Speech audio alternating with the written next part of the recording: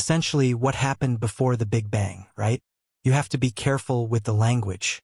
So, if you define the Big Bang really carefully as the time when the universe was very hot and very dense, and as I said, you can't argue with that because we can see it as we can look out into the sky. Our best theory of how the universe got into that state is that there was a time before that and it's called inflation. What existed before the Big Bang? This question has always been a challenge for scientists, but now it seems they've found the answer to it. But it has left scientists shocked, as Brian Cox revealed that something terrifying existed before the Big Bang. So the idea is the universe was, it was there, in a sense, cold and empty and expanded extremely fast.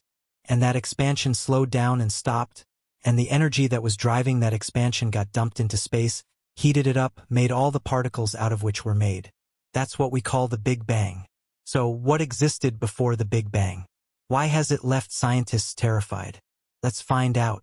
And that theory has a kind of an extension called eternal inflation, which is that the inflation essentially goes on forever and it just stops in little patches. So you imagine the stretch, the fabric of the universe, space-time, stretch, stretch, stretch, and then it slows down and stops in little patches. And each one of those patches is basically a big bang and a universe of which ours is one. So, you end up with this sort of picture of an infinite fractal universe of basically an infinite number of big bangs. And that's called the inflationary multiverse. In the vast cosmos, the idea of absolute nothingness seems theoretical rather than real. Even if all energy were removed from the universe, it wouldn't be truly empty. Currently, the universe is full of matter, radiation, antimatter, neutrinos, dark matter, and dark energy. Even without energy, the universe still creates new forms of energy. This phenomenon confuses us. It seems the universe doesn't understand our concept of complete emptiness. If we removed all energy, leaving a void, one might expect the universe to reach absolute zero with no particles. Yet that's not the case. Even in an empty universe, its expansion would still produce radiation. This extends far into the future or even back to the time before the hot Big Bang. The universe, it appears, never truly becomes void. Given all of this, is it plausible that the universe originated from nothing? we can be certain that something always persists. Even if particles, antiparticles, photons, and quanta are removed, empty space remains. If we move away from any mass or energy sources, clear the space of external electric, magnetic, and gravitational fields, and prevent photons or gravitational waves from entering, a kind of physical emptiness still exists. In this space, quantum fields endure, and the fundamental constants and laws of physics endure. There is an inherent finite, positive, and non-zero value of zero-point energy in that space. This represents the closest approximation to nothing within our universe. While you might envision an even more nothing-like state, it lacks physical reality. No experiment can replicate such a condition. By adhering to scientific principles, we acknowledge that something always exists because true nothingness cannot coexist in our universe. Yet, the question of why remains unanswered by science. Presently, our universe appears far from empty. It's teeming with stars, gas, dust, galaxies, quasars, cosmic rays, and radiation from both starlight and the remnants of the Big Bang. With improved observational tools, we could potentially detect additional signals that we anticipate are present. This encompasses gravitational waves generated by any mass moving through a changing gravitational field, the mysterious signals from the constituents of dark matter, and a broader perspective on black holes, both active and dormant, aside from those emitting the most radiation. Everything we observe occurs in a universe that isn't static, but is continuously changing. From a physical standpoint, it's intriguing to comprehend the evolution of our universe on a grand scale. The fabric of our universe, known as spacetime, is expanding. This implies that if you position two points far apart in your spacetime, the proper distance between those two points, the time it takes for light to traverse between them, and the wavelength of the light traveling from one point to the other all increase over time. The universe isn't just getting bigger, it's also getting colder. As it expands, light stretches to longer wavelengths, it moves towards lower energies and cooler temperatures. The universe was hotter in the past and will become even colder in the future. During this process, objects with mass or energy in the universe attract each other, forming clusters and creating a vast cosmic network. If you were to somehow remove everything, matter, radiation, every bit of energy, what would remain? Essentially, you'd have empty space itself, still expanding, still governed by the laws of physics, and still influenced by quantum fields that fill the universe. This is the closest physical approximation to true nothingness, yet it still adheres to specific physical principles. To a physicist in this reality, removing anything else would create an unrealistic state that no longer reflects the cosmos we inhabit. This suggests that dark energy, as we currently understand it, would still be present in this hypothetical universe devoid of matter. In essence, if every quantum field in the universe was set to its lowest energy state, we would arrive at the zero-point energy of space, where no additional energy could be extracted for mechanical work. In a universe containing dark energy, a cosmological constant, or the zero-point energy of quantum fields, it's plausible that the zero-point energy wouldn't be truly zero. As the universe continues to expand and cool, there will come a time in the distant future when radiation becomes the dominant component, surpassing other forms of matter and radiation, leaving dark energy as the primary influence. However, there's also a period in the universe's history, not in the future, but in the distant past, when something else besides matter and radiation held dominance. During cosmic inflation prior to the hot Big Bang, our universe underwent extremely rapid and constant expansion. Instead of being dominated by matter and radiation, the cosmos was controlled by the field energy of inflation, akin to today's dark energy, but much more potent and expanding at a significantly faster pace. If eternal inflation is accurate but time remains finite, where might the universe have originated? There must have been a beginning, correct? To address this question thoroughly, let's unravel three commonly conflated concepts and discuss each individually.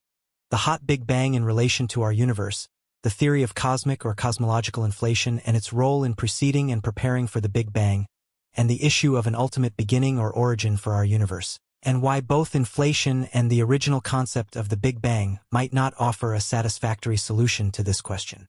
In the early 20th century, a significant synthesis took place when four key pieces of information came together. A breakthrough by Alexander Friedmann in Einstein's general relativity, showing that a universe filled uniformly with any form of matter and energy cannot remain static, but must either expand or contract. The rate of this expansion or contraction depends on the overall energy density of space. Henrietta Leavitt's observational work established a connection between the period of brightness and dimness of variable stars and their inherent brightness, known as the period luminosity relation. Observations by Vesto Slipher, measuring the shift in light, either redshifted or blue-shifted, from our solar system's perspective in spiral and elliptical nebulae, which were later identified as galaxies, indicated that these galaxies were moving away from us at incredibly high speeds. Edwin Hubble, alongside Milton Humason, identified similar types of variable stars to those found by Henrietta Leavitt in spiral and elliptical nebulae. This enabled them to gauge the distances to these galaxies and confirmed they were beyond our own. These findings, combined with other data, led to the concept of the universe expanding. If the universe expands, it suggests that over time, space itself stretches, causing the matter within it to become less dense. As space expands, radiation like light waves not only becomes less concentrated, but also stretches, leading to the universe cooling. If we rewind the clock, the opposite would occur. To matter and radiation in the universe in earlier times, when the universe was younger, it was denser and hotter. If we rewind further, all matter and radiation would have been squeezed into a smaller space, increasing the density of the universe. The light, which stretched due to cosmic expansion, when we reverse time would have had a shorter wavelength, resulting in hotter temperatures. If you envision going back as far as physics permits, you'd reach a singular state where all matter and radiation existed within a single point of infinite density and temperature. The initial idea of the Big Bang Theory resulted in the formation of five key expectations regarding the early universe's hot and dense conditions. These forecasts became the foundation of the Big Bang Theory. The universe ought to demonstrate expansion, as indicated by a distinct redshift distance relationship among extragalactic objects. Initially, the universe should have been relatively uniform, with structures like stars, galaxies, and clusters of galaxies gradually forming and evolving over time. In the past, the universe was hotter, preventing the formation of stable neutral atoms. This prediction led to the discovery of the cosmic microwave background, which is observable today. In the initial stages of the universe, when it was extremely hot, atomic nuclei couldn't form stably. This led to the creation of light elements such as hydrogen, helium, lithium, and their isotopes. The universe was so hot that neutrinos played a significant role. Recently, this prediction was confirmed, indicating that cosmic neutrinos should have detectable effects on both the large-scale structure and the leftover radiation from the Big Bang. With strong observational evidence supporting these predictions, the Big Bang theory has remained uncontested as the primary explanation for the early universe since the mid-1960s, coinciding with the discovery of the cosmic microwave background. As evidence supporting the hot Big Bang theory grew in the 1960s and 1970s, certain challenges surfaced that the Big Bang alone couldn't resolve. Several observations contradicted the concept of the universe originating from a singular state of incredibly high temperatures and densities. Three of these challenges stand out. The horizon problem. When we observe different directions, the universe seems to possess uniform temperatures and density throughout. However, since the onset of the hot Big Bang, these regions have never had the opportunity to communicate, exchange information, or achieve thermal equilibrium with one another. This raises the question, how did they evolve to exhibit uniform temperature and conditions across the board? The flatness problem. In a universe that's expanding, there's a continual tug of war between the initial expansion pushing things apart and gravitational forces attempting to pull everything back together. Remarkably, in our universe, these opposing forces appear to be perfectly balanced, resulting in a spatially flat universe. The question arises, why did our universe come into existence with these particular characteristics? The monopole or ancient relic problem. If the universe underwent extreme temperatures and energy conditions in its early stages, why do we not observe any exotic remnants, such as right-handed neutrinos and magnetic monopoles?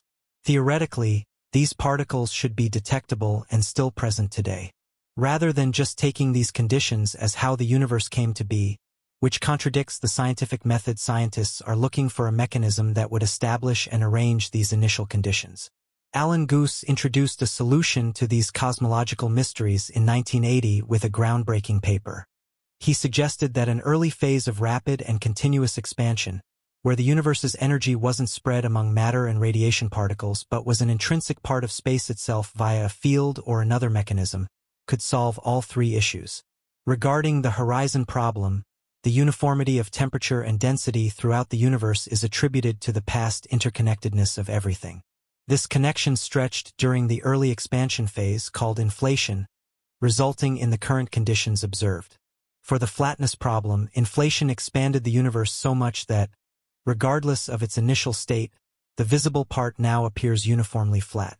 As for the monopole problem, the absence of ancient remnants is explained by inflation preventing the universe from reaching excessively high energies or temperatures. The maximum temperature reached after inflation avoids the formation of these remnants. In the 1980s, Inflation theory made precise and testable forecasts about the beginnings of cosmic structure that should be detectable in both the cosmic microwave background and the large-scale layout of the universe. These forecasts, crafted decades ago, have been validated by observations spanning from the 1990s to the present day, encompassing an almost, though not entirely, scale-invariant spectrum of imperfections, variations in density and temperature, density irregularities that are entirely adiabatic, and not at all isocurvature in essence. Fluctuations on scales larger than what a signal traveling at the speed of light in an expanding universe could generate. A maximum temperature limit for the universe during the hot Big Bang, notably smaller than the Planck scale. Because inflation involves a rapid expansion of space, rather than culminating in a singularity like the original model for the Big Bang, it presents an alternative depiction of the beginning. Instead of time and space gradually emerging from a single state, inflation proposes a rapid expansion leading to the Big Bang. This raises a fundamental question about the actual beginning of the universe, if such a notion even makes sense. Within the framework of the hot Big Bang, without inflation, we could trace back and reach a singular state where the universe's size approaches zero in a finite time.